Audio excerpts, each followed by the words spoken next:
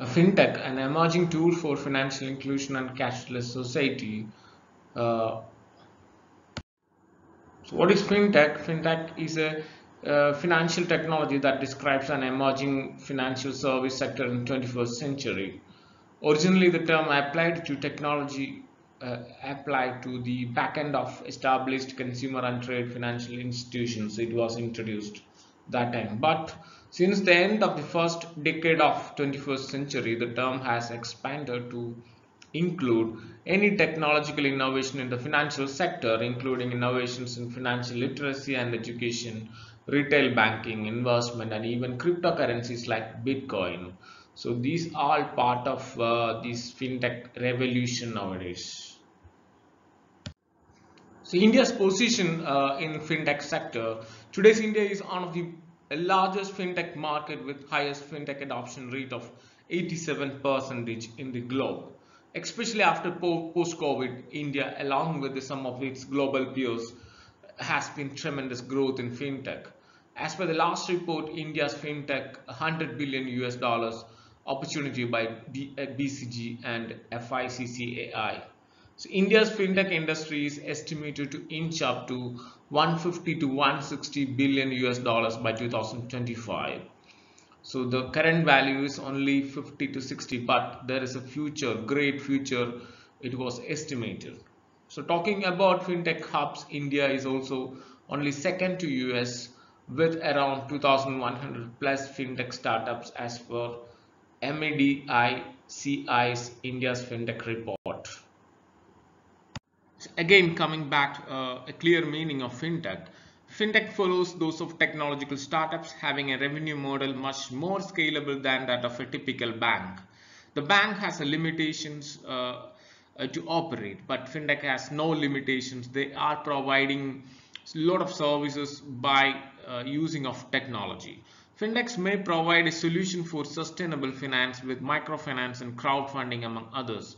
Recently, UN, United Nations, set for the SDG Sustainable Development Goals to be accomplished uh, in the year of 2030.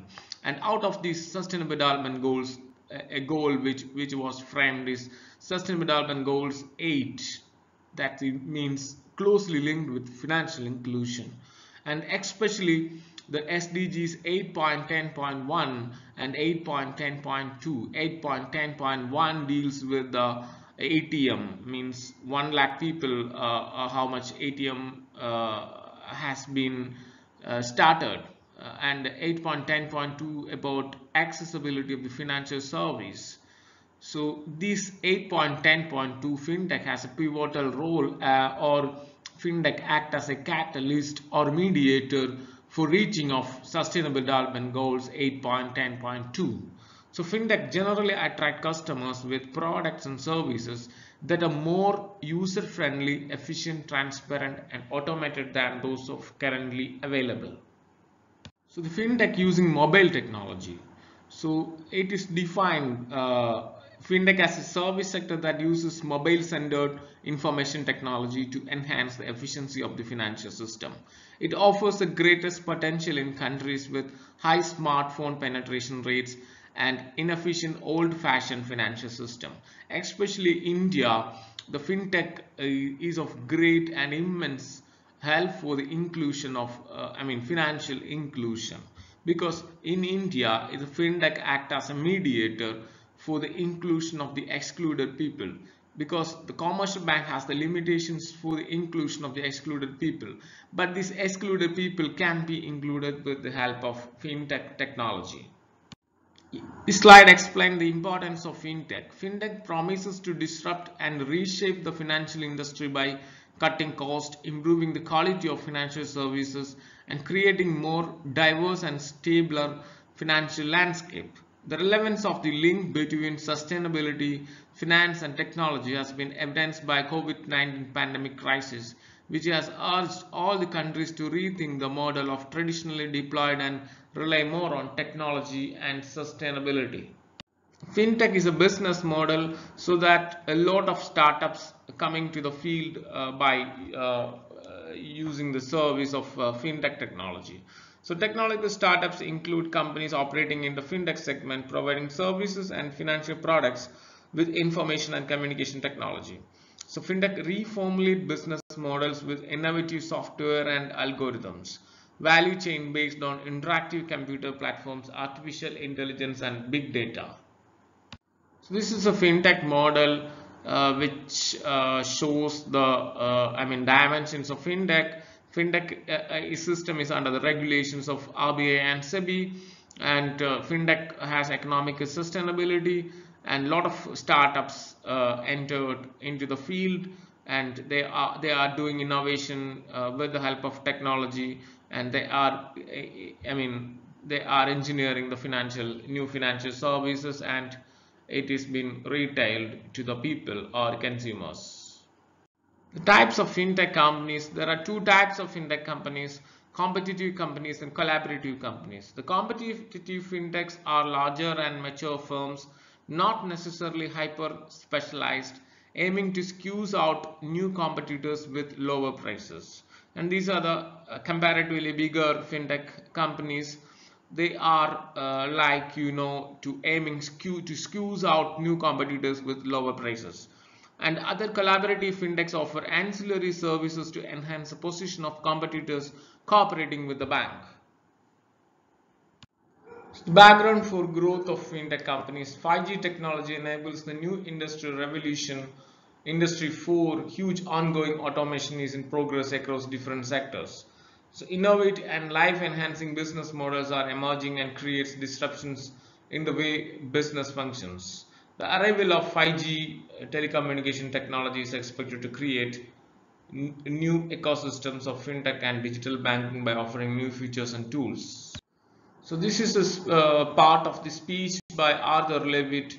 He was the chairman of Securities Exchange Commission USA and he said that he compared fintech with the derivatives so in every major financial market innovation, there is a lag between early adoption and regulatory acceptance. That is the truth of fintech, just as it was true of derivative product. So derivatives is now legally permitted in all the countries.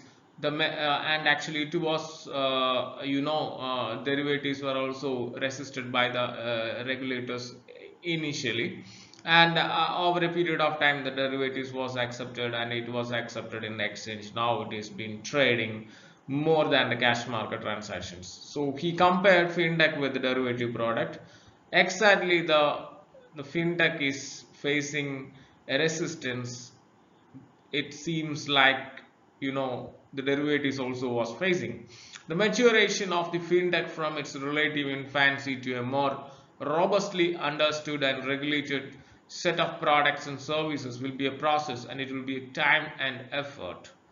So that fintech offers great promise in creating economic value is not in dispute. The issue is whether the fintech products and services are transparent enough for regulatory oversight and understanding.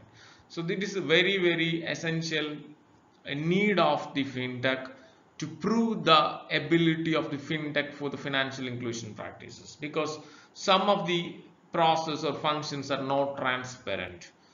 It seems like Bitcoin faces nowadays. Bitcoin is not legalized in anywhere, but still the Bitcoin is transacted.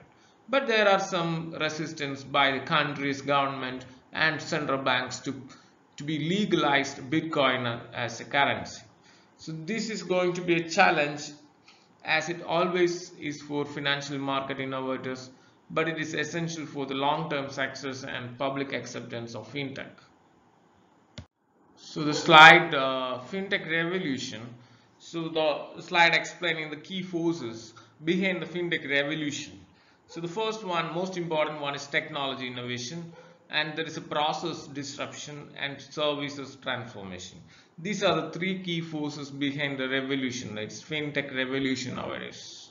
So the causes of disruptions uh, the why these disruptions in financial technology was happened. So new business models, new market mechanisms, shared technology infrastructures, disintermediation of bank segment of one marketing and cross-border innovations. These are the reasons or causes for the disruptions in financial technology. So the customers or the people are now experiencing new and new financial services experience. Like, uh, you know, there are some reasons for that. Investment communities, mobile payments, blockchain based general ledger functionality, risk management technology, account deposits without branches. So fintech trade support. So these are the uh, new experienced, uh, I mean, new financial service experience. So it is to be continued like digital wallets, robo-advisory services, chatbots, branchless banking services, big data supported customer intimacy, personal financial management, financial research exchange. So how the fintech revolution is changing financial service operations. So as a part of traditional financial system uh, go through different stages uh, uh, like you know uh, system design, performance analysis and productivity, forecasting, inventory and cash management, waiting line analysis for capacity planning, personal scheduling, operational risk management and pricing and revenue management. So these are the stages in which a traditional financial services go through. But uh, surprisingly fintech uh, is not intended to go through these stages the fintech system is totally different as I said fintech is a business model and it formed as a startups and changed the existing operational setups. Fintech has its own mechanism to start. Relatively recently the cost to launch the tech startup began dropping because of the open source software now available. So this has allowed uh, new entrants into the market to create niche products that target very specific groups of customers based on their characteristics. The problem for incumbents is that the highly targeted companies are attacking each product they have on offer and that this leads to the unbundling of financial services.